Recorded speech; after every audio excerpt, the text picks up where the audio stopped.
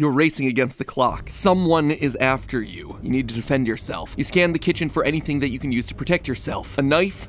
Cliche. Frying pan? What are you, a Disney princess? Then you see it. Yeah, now you're talking.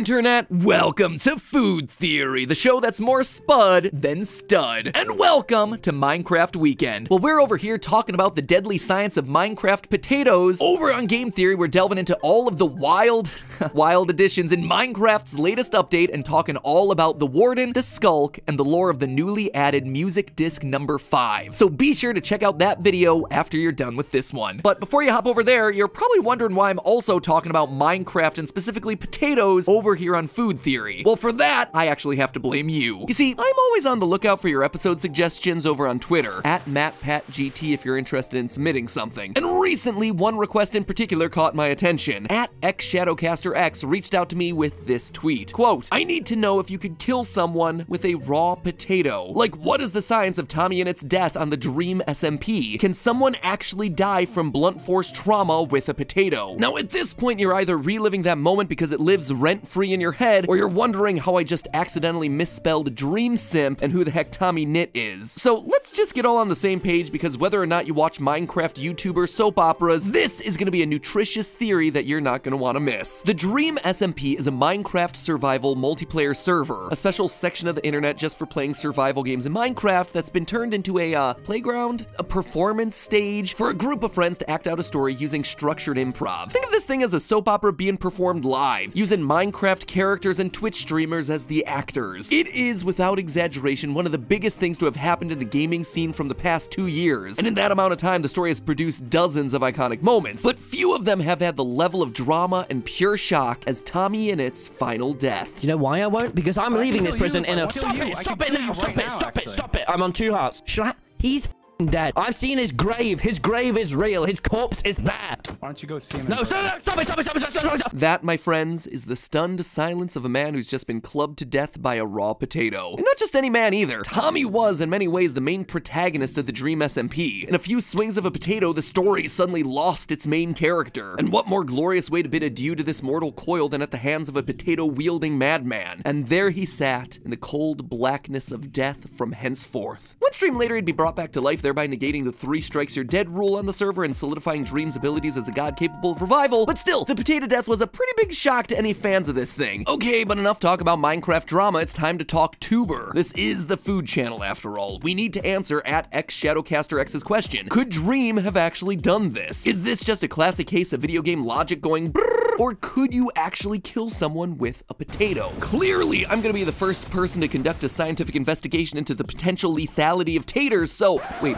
what's this? Risk assessment of blunt ballistic impact trauma due to potato cannons. Huh. Okay, so apparently I'm not the first person to scientifically investigate the risks of getting clobbered by a rogue spud. Sure, the academic research paper is looking at potato guns, but it's a good enough place to begin, and a good reminder that anything can be lethal if it's moving fast enough. However, a high-speed projectile is a far cry from what we're actually talking about here. Dream's weapon of choice was a potato of the handheld variety. Less potato gun and more potato club. Potato club just sounds like a very carb-heavy sandwich, to be honest. Obviously, his potato club isn't gonna be striking with the same amount of speed, and most of us intuitively understand that faster equals more dangerous. A high-speed highway crash is gonna be a lot more deadly than a low-speed fender bender. But it's important to understand why. Weapons like bullets are sometimes described as kinetic projectiles or kinetic energy weapons, and that's largely because their deadliness comes from the kinetic energy, that is the energy of motion. If you paid attention in physics class, you might remember that kinetic energy equals one half mass times velocity squared. That mass part shouldn't be all that surprising. Getting hit with a heavy thing hurts more than getting hit with a light thing. Double the mass, double the kinetic energy, obvious logic is obvious. But the velocity squared part is what makes speed particularly deadly. Double the speed, and you get four times the kinetic energy. Ten times the speed, a hundred times the kinetic energy. That's how a tiny bullet, despite being a lot lighter than your fist or a potato, can be that much more lethal. It's traveling so fast. So to understand how much kinetic energy Tommy Innit's poor little noggin's absorbing each time he gets bopped on the head, we need to know the mass of the potato and how fast it's moving. The current record holder for world's largest potato weighed in at 11 pounds, or 5 kilos. But if you just go to your local grocery and pick out the biggest potato you can find, it's gonna be closer to around 1.75 pounds or 0.8 kilos. Fun fact, the US Department of Agriculture actually has official standards about the diameter and weight of what can be legally defined as a large potato, medium potato, or small potato. Because without those guardrails in place, the starchy root vegetable economy would be completely out of control. So the next time you hear someone dismissively refer to something as small potatoes, you know that technically they're talking about something that weighs less than 6 ounces and is less than 2.5 inches in diameter. Actually, they're probably not using that precise of a definition because nobody actually knows about official food labeling guidelines, but now you know, thanks to me, and thanks to the fine folks over at the USDA who are responsible for coming up with those sorts of definitions. Anyway, moving into other variables of our equation. As for speed of the attack, most professional boxers are able to punch with a speed of 25 miles an hour, or 11.2 meters per second, though the best pros can reach speeds of over 30 miles an hour, or 13.4 meters per second. The world's fastest punch hit at a speed of 45 miles an hour, or 20 meters per second. We do want to give Dream his best shot at this, but we also have to acknowledge that, you know, he's not a boxer. Not yet, at least. Creator Clash 2 is coming. Anyway, let's go with the average of 25 miles per hour, at least to start with. Plugging all of that into our kinetic energy formula, using metric units like the civilized world, 0.8 kilograms times 11.176 meters per second squared equals 99.92 joules of kinetic energy. Meaning a top tier boxer smacking you in the face with a large potato would be delivering almost exactly 100 joules of kinetic energy, which, as usual when we calculate energy on these channels, means absolutely nothing to anyone. Is it a lot? It turns out, uh, maybe? It's actually just a matter of probability. The faster an object is moving when it hits you in the head, the more likely it's gonna kill you. Shock of all shocks. According to a report titled Lethality Criteria for Debris Generated from Accidental Explosions, the probability that getting hit with an object will be fatal is shown by this graph. I know oh, this looks suspiciously like 11th grade math, which none of us really want to revisit, but stick with me here. The probability of a blow being fatal increases logarithmically. This is also known as an S-curve. We don't need to know the ins and outs, but one thing's plain to see, that number, smack dab in the middle there, represents 100 joules, the number that we just calculated for our pro potato punch. Getting hit with that much kinetic energy presents a 50% chance of fatality. Basically, a coin flip as to whether Mr. Potato is gonna be lethal when he collides with Mr. Head. That said, we need to consider that in our Dream SMP scenario, Tommy Innit is being hit repeatedly by Dream, each blow with a 50% chance of fatality. If each hit with a potato decreases Tommy's health by half a heart, and he starts the interaction with 10 hearts, that means that he's being hit at least 20 times. At 50% odds per hit, the chance that number of blows is not fatal is a dismal 0.00009%. Practically zero probability of survival, meaning that in this scenario, the likelihood of death by YouTuber tuber is assured. But okay, you say, so much of this has to do with the power of the blow behind the potato. A spud is only as powerful as the idiot deciding to use it as a blunt force weapon. We calculated a modified pro boxer landing this punch, but why would we assume that Dream is a pro boxer by any standard? Well, first off, it's not that unreasonable to think that he would be strong. It's confirmed that Dream possesses special powers, including raising people from the dead and coding the actual game. I mean, it is the Dream SMP after all. For all we know, he could be canonically way stronger than a pro boxer. We also know that in the world of Minecraft, characters are able to carry like infinite amount of materials, so, you know, there is some level of super strength here. That said, for the purpose of this kind of discussion and to make sure Dream doesn't have an unfair advantage in calculations, let's run another scenario assuming that he has no special strength or skills. He's just a regular Joe. A regular Steve, more accurately, who can throw a punch or wield a pickaxe, but isn't gonna be stepping into the ring with Tyson anytime soon. Or Jake Paul. What, what even is boxing anymore? For this calculation, we'll use a study of 16 amateur boxers that found that the typical punch ranged in speed from 6.7 meters a second to 9.5 meters per second. Let's take the average of those numbers, again, nothing special there, and assume that someone is trained enough with their potato punches that they can swing a spud with that speed. Run in the calculation again, 0.8 kilograms times 8.1 meters per second squared, and you get 52 joules of kinetic energy. Going back to our graph, we see that getting hit with an object with 52 joules of energy gets us around a 10% chance of lethality. In other words, it definitely can be fatal, but it probably won't be, provided, of course, it only happens once. However, remember, Dream is delivering a rapid flurry of at least 20 potato strikes, each landing with the velocity of an average punch. It's only a matter of time before that 10% chance of death becomes an inevitability. The probability of surviving all 20 hits that we see in this clip to bring Tommy down from 10 full hearts to zero is 12%. It's not nothing, but the odds are definitely not in your favor. By sheer probability, one in every 10 punches kills you. There are twice that number of punches happening here. The odds of killing you are now almost 90%. Those are the kind of odds that not even Tom Cruise could survive in Top Gun 2, which honestly sounds like it should be an episode of Film Theory. Hmm. In conclusion, that scene of Dream smacking Tommy Innit upside the head over a dozen times and the tragic loss of our beloved Brit by Spud to the dome isn't just a case of video game logic. In fact, it's almost exactly how this sort of scenario would play out in real life. I swear, it's the episodes that I think are gonna wind up the craziest that ultimately end up working out. And you end up cooking your steak in the dryer, surprisingly. I don't even know anymore. But I do know that aside from the fact that Tommy Innit was immediately revived and Dream broke all his canon rules seemingly for the sake of convenience, this Spud Smackdown is 100% supported by science. But hey, munching raw potatoes might restore your health in Minecraft, but they're not doing all that much for you up here on the top side. You know what is good for you though? Meals that you don't have to dig up from the ground yourself. No axes, no hammers, no butchering your own cow in the field. Imagine what luxury. And with our sponsor for today's episode, HelloFresh, that's exactly the luxury you're getting. And what's more, you don't even have to go to the grocery store. It's summer. The world is bouncing back from the last couple of years, so you got one goal. Get out there and do stuff. Whether you're working on your diamond armor or working on your tan, don't lose any more time doing things that aren't fun. Let HelloFresh worry about what's for dinner or lunch or whenever you just want to make the pre-planned, pre-thought out,